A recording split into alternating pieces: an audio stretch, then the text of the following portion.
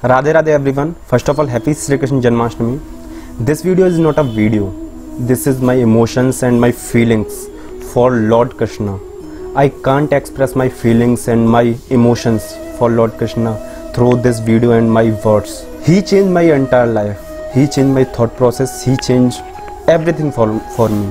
He is my motivational mentor and my real life mentor. He is my ideal personality and ideal person and ideal Lord. When I came to Mathura in 2015 for diploma engineering जब मैं 2015 में engineering करने के लिए मथुरा में आया था, मुझे नहीं पता था कि मेरी लाइफ इस तरीके से चेंज होने वाली है। एकदम अनभिज्ञ बच्चा था, जिसको कोई भी जानकारी नहीं थी। लेकिन यहाँ पर मैं आया, मैंने अब काफ़ी सारी चीज़ देखी मथुरा को वृंदावन को काफ़ी करीब से देखा, काफ़ी ठीक से देखा।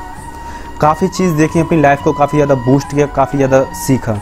मेरा जो डिप्लोमा इंजीनियरिंग था 2015 से 2018 तक मैंने यहीं पर किया और उनमें काफ़ी सारी चीज़ को अपने अंदर महसूस किया, काफ़ी ज़्यादा चेंजिंग मैंने देखी और वो सारी चीज़ हो पाई श्री कृष्ण भगवान की कृपा की वजह से। अगर मैं आपको इन तीन साल का अपना एक्सपीरियंस बताऊँ तो तीन साल के अंदर मैंने मथुरा के लगभग, मथुरा और वृंदावन के लगभग सारे मंदिरों को देख लिया था। यहाँ तक कि मैंने तीन से चार बार परिक्रमा भी की थी। चाहे वो पैंसठ किलोमीटर की परिक्रमा हो या इक्कीस किलोमीटर की परिक्रमा हो या दस किलोमीटर की होली वाली परिक्रमा हो, लगभग जितनी सारी परिक्रमा थी मैंने तीन साल के अंदर वो सारी कर ली थी। पैंसठ किलोमीटर वाली परिक्रमा को मैंने बिना रुके कंटिन्यू किया था, वो भी नंगे पैर। जब मैं मथुरा में आया था मुझे नहीं पता था कि मेरी लाइफ इस तरीके से चेंज होने वाली है। मैंने अपनी लाइफ को एक नए मुकाम पर पहुँचाया अपनी लाइफ को नया बूस्ट दिया अच्छे अच्छे एक्सपीरियंस लिए। अगर मैं आपको मथुरा के और वृंदावन के सबसे बेस्ट मंदिर बताऊँ तो तीन मंदिर आपको बेस्ट बताऊँगा। एक श्री कृष्ण जन्मभूमि, एक मथुरा वृंदावन का प्रेम मंदिर और वृंदावन का बांके बिहारी टेंपल भव्यता के तौर पर बताऊँ कि आपको एक अच्छी भव्यता देखनी है। तो Janmabhoomi one of the best and उसके बाद में वृंदावन का प्रेम मंदिर। आस्था के तौर पर बताऊँ कि मतलब भगवान के जहाँ प्रेजेंस है।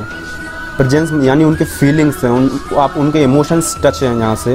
वो है आपका वृंदावन का बांके बिहारी टेंपल मैं आपको एक एक चीज़ बता दूँ that temple is one of the best temple of Vrindavan और ऑल ओवर द वर्ल्ड अगर अगर मैं वर्ल्ड से कंपेयर करूँ तो एक आपको वहाँ पे एक असीम शांति की अनुभूति होगी, जैसे आप वृंदावन में एंट्री करते हैं। जैसे आप वृंदावन को एंट्री करेंगे, आपको एक अलग ही शांति का महसूस होगा।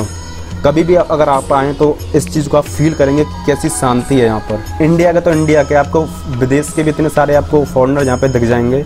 एक यहाँ पे इस्कॉन टेंपल नाम का टेंपल है। वहाँ पे इतने सारे विदेशी हैं जो मतलब श्री कृष्ण में लीन हैं, जो अपने अपने सारे जीवन को उनके लिए समर्पित कर दिया है, जो पूरी तरह अपनी मोहमाया को त्याग करके वृंदावन में रह रहे हैं इस्कॉन टेंपल में। इतने सारे फॉरनर्स आप देखेंगे, अगर आप कभी आते हैं तो आपको एक असीम अनुभूति फील होगी। मैं आपको एक ही चीज़ कहना चाहता हूँ इस वीडियो से, किसी को भी माने आप, किसी भगवान को माने।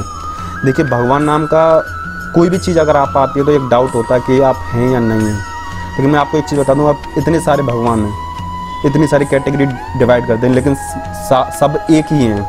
आप किसी को भी मानकर अपनी आस्था को ज़िंदा रख सकते हैं, इससे आपको एक पॉजिटिव अफर्मेशन मिलेगा।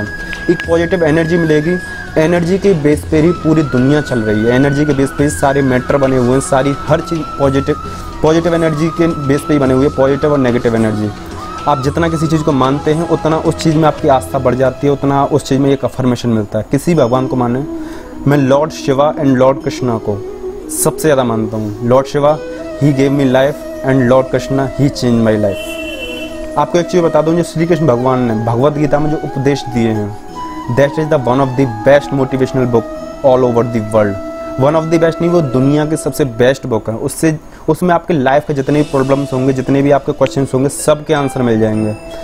उससे बढ़िया शायद ही कोई मोटिवेशनल बुक हो सकती है जो आपको इतना ज़्यादा मोटिवेट करे। इस वीडियो को बनाने का मेरा मोटिव बस इतना था कि मेरे अंदर जो फीलिंग्स थी भगवान के लिए, मैं थोड़ा सोचा कि आपको रिप्रेजेंट कर दूँ कि शायद आपके अंदर एक पॉजिटिव अफर्मेशन आए। दूसरी चीज़ ये थी कि आप भगवत गीता को पढ़ें, उसमें आप जो श्लोक बताए गए हैं, या भगवत गीता को पढ़ें, या महाभारत, जो न्यू वाला महाभारत है ना, उसमें जो श्री कृष्ण भगवान है, सौरभ जैन है वो, उन्होंने जो श्लोक कहे वो जो कहने की उनकी मतलब कहने का जो तरीका है जो उच्चारण है, उसको समझने की कोशिश करें, आपको एक पॉजिटिव अफर्मेशन मिलेगा। यही इस वीडियो के माध्यम से बताना चाह रहा था तो इसी के साथ ही वीडियो हम करते हैं। राधे राधे।